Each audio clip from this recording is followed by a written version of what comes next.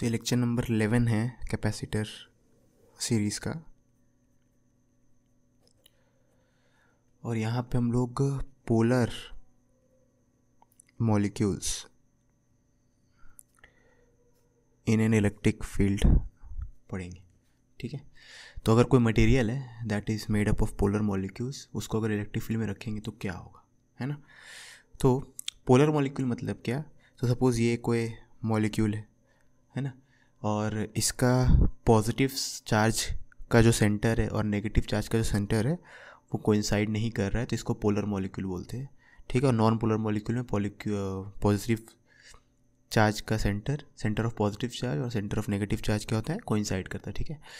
Okay तो polar molecule में आपका सेंटर ऑफ़ पॉजिटिव और centre of negative charge coincide नहीं करता। एग्ज़ाम्पल आप देख लो, जैसे एनओ है ना? डिफरेंट इलेक्ट्रोनेगेटिविटी का रहेगा तो यहाँ पे ऑफकोर्स जैसे ऑक्सीजन अगर ज़्यादा इलेक्ट्रोनेगेटिव है तो इलेक्ट्रॉन जो इसके ज़्यादा करीब रहेगा। तो यहाँ पे अगर ये कोई एनो मॉलिक्यूल है तो ओ के पास जो होता है चार्ज नेगेटिव चार्ज ज़्यादा देर के लिए रहता है कंपेयर टू एन तो हम लोग यहाँ पे बोल सकते हैं एन के पास स्लाइटली पॉजिटिव चार्ज है और ओ के पास स्लाइटली नेगेटिव चार्ज है। तो डायपोल मोमेंट आपका इस तरफ़ है। ठीक है तो एनओ में डायपोल मोमेंट इस तरफ़ है, ऐसा कुछ। है ना? अगर आप एक सैंपल इमेजिन करो सैंपल में बहुत सारे एनो मॉलिक्यूल्स रहेंगे।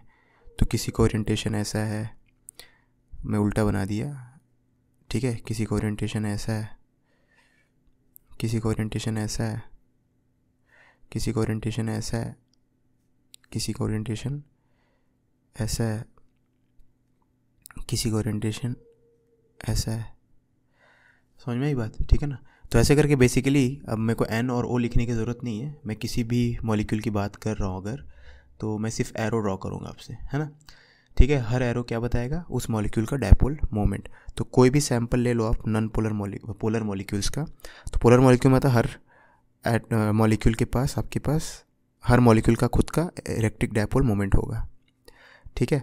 और वो लोग किसी भी डायरेक्शन में क्यों हैं? क्योंकि रैंडम एजिटेशन के कारण रैंडम थर्मल एजिटेशन के कारण, कोई प्रेफर्ड डायरेक्शन मतलब कोई भी डायरेक्शन लोग प्रेफर नहीं करेंगे, है ना? ठीक है? तो यहाँ पे ये कोई सैंपल है ऑफ़ पोलर मॉलिक्यूल्स जिनका आप देख सकते हो डायपोल्स का जो ओरिएंटेशन है रैंडम है ड्यू टू थर्मल मोशन है ना? ओके अब यहाँ पे अगर आप कोई भी वॉल्यूम उठाओ, ठीक है? या देखना कोई स्मॉल वॉल्यूम भी उठाओ आप सपोज़ इसका कोई स्मॉल वॉल्यूम उठा रहे हो आप तो इस सैंपल का आप कोई स्मॉल वॉल्यूम जैसे वन मिलीमीटर क्यूब भी उठा रहे हो। अब वन मिलीमीटर क्यूब हमारे लिए तो बहुत छोटा पार्ट है, लेकिन वन मिलीमीटर क्यूब में अगर मॉलिक्यूल्स की बात करें तो इतने रीजन में बहुत सारे मॉलिक्यूल्स फिट हो जाएँगे। टेन की पावर एलेवन उस ऑर्डर के, है ना? तो टेन की पावर एलेवन मतलब वन के बाद एलेवन ज़ीरोस ठीक है? उतने सारे यहाँ पे मॉलिक्यूल्स इस वॉल्यूम में हट जाएँगे फिट हो जाएँगे, और हर मॉलिक्यूल का डायपोल मोमेंट का ओरिएंटेशन रैंडम है तो net dipole moment of all the molecules जो इस वॉल्यूम में प्रेजेंट है, उनका अगर वेक्टर सम करेंगे तो ज़ीरो आएगा। क्योंकि कोई भी प्रेफर्ड डायरेक्शन नहीं है रैंडम थर्मल रेडिएशन के कारण कोई भी डायरेक्शन प्रेफर नहीं किया जा रहा है ना? ठीक है? बेसिकली एरोज जो है रैंडमली ओरिएंटेड है, और किसी भी स्मॉल वॉल्यूम में बहुत सारे एरोज रहेंगे, क्योंकि मॉलिक्यूल्स बहुत छोटे होते हैं। तो हम लोग बोल सकते हैं कि इसका नेट डायपोल मोमेंट क्या है? तो इसने वॉल्यूम में अराउंड टेन की पावर एलेवन मॉलिक्यूल्स आ जाएँगे। ठीक है? तो हम लोग बोल सकते हैं कि नेट डायपोल मोमेंट अब यहाँ पे तो मैं दो तीन एरोज दिखाया हूँ, है ना? वैसे फिर बहुत सारे टेन की पावर एलेवन एरोज आएँगे, है ना? और सब रैंडम थर्मल एडिटेशन के कारण, सबका ओरिएंटेशन ऐसा रहेगा जैसे कि पूरे का dipole moment net dipole moment zero हो जाए, ठीक है? तो नेट इलेक्ट्रिक डायपोल मोमेंट ये इलेक्ट्रिक डायपोल मोमेंट है ना? नेट इलेक्ट्रिक डायपोल मोमेंट इस ज़ीरो कारण क्या है? Due to random thermal agitation ठीक है? ओके तो नेट डायपोल मोमेंट ज़ीरो हो गया, है ना? अब अगर इस सब्सटेंस को हम लोग किसी इलेक्ट्रिक फ़ील्ड में रखें ठीक है, इस सब्सटेंस को ऑलरेडी यहाँ पे इलेक्ट्रिक फ़ील्ड है। इस रीजन में मान लो इलेक्ट्रिक फ़ील्ड है। इस इलेक्ट्रिक फ़ील्ड में अगर इस सब्सटेंस को रखेंगे तो क्या होगा? तो बेसिकली मैं यहाँ पे सब्सटेंस को ड्रॉ कर रहा हूँ और यहाँ पे इलेक्ट्रिक फ़ील्ड है। है ना? ये वाला लाइन को मैं ड्रॉ नहीं कर रहा हूँ, बस है। ठीक है? तो इलेक्ट्रिक फ़ील्ड क्या करेगा? डायपोल पे टॉर्क लगाएगा पी क्रॉस ही है ना? तो टॉर्क लगता है इलेक्ट्रिक फ़ील्ड के कारण डायपोल पे पी क्रॉस मान लेते हैं यूनिफॉर्म इलेक्ट्रिक फ़ील्ड है तो पी क्रॉस ही वाला फॉर्मूला यूज़ कर सकते हैं हम लोग।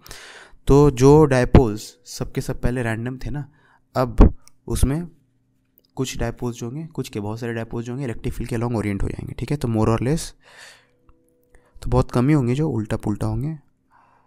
अधिकतर जो आप देख सकते हो एक्स के अलॉन्ग ओरिएंट हो गए ठीक है? तो यहाँ पे लेकिन अलाइनमेंट जो है कंप्लीट नहीं है, या परफेक्ट नहीं है, क्योंकि थर्मल मोशन तो अभी भी है मॉलिक्यूल के पास, थर्मल मोशन कभी परफेक्ट अलाइनमेंट होने नहीं देगा, ठीक है? तो अलाइनमेंट जो है यहाँ पे ये परफेक्ट नहीं हो पाया है, क्योंकि थर्मल मोशन है, आप टेम्परेचर डिक्रीज करोगे तो अलाइनमेंट बढ़ता जाएगा, है ना? तो यहाँ पे आप देख सकते हो, अगर अब इस सैंपल का, इस सैंपल में वन मिलीमीटर क्यूब वॉल्यूम लोगे आप तो उसका डायपोल मोमेंट ज़ीरो नहीं आएगा, ठीक है? इसका आप कोई पोर्शन लोगे तो उसका डायपोल मोमेंट ज़ीरो नहीं आएगा, है ना? तो इसका आप कोई पोर्शन लो इसका डायपोल मोमेंट जो होगा इलेक्ट्रिक डायपोल मोमेंट ये ज़ीरो नहीं होगा। ठीक है? तो पहले जो चीज़ ज़ीरो थी, अब इलेक्ट्रिक फ़ील्ड लगने के कारण डायपोल्स में टॉर्क लगने के कारण, इनका अलाइनमेंट होने के कारण, भले परफेक्ट अलाइनमेंट नहीं है ड्यू टू थर्मल मोशन ठीक है? लेकिन मोर और लेस अब देखोगे तो अधिकतर लोग जो है, इस डायरेक्शन में इलेक्ट्रिक फ़ील्ड के लॉन्ग खुद को घुमा चुके हैं ना? या थोड़ा बहुत एंगल पे, है ना? तो यहाँ पे हम लोग ये बोलते हैं कि डायपोल मोमेंट यहाँ पे इंड्यूस हो गया है। ठीक है, या चार्ज इंड्यूस हो गया है है ना? ओके डायपोल मोमेंट इंड्यूस नहीं चार्ज इंड्यूस हो गया ठीक है ना? अब चार्ज इंड्यूस हो गया मतलब क्या है? उसके लिए आप पहले समझो, इस सब्सटेंस को मैं ऐसे ड्रॉ कर रहा हूँ। ठीक है? तो पहले तो कोई चार्जेस वो नहीं थे डायपोल है ना? मतलब डायपोल्स है इंडिविजुअल मॉलिक्यूल्स के पास है, लेकिन नेट डायपोल मोमेंट किसी वॉल्यूम का क्या था? ज़ीरो था। लेकिन जैसे आपने इलेक्ट्रिक फ़ील्ड लगा दिया तो डायपोल ऐसे ओरिएंट हो जाएँगे है ना तो आप देखोगे तो लेफ़्ट एंड मोस्टली नेगेटिव मतलब ऐसा ऐसा अगर मैं परफेक्ट अलाइनमेंट का डायग्राम बना के दिखाऊँ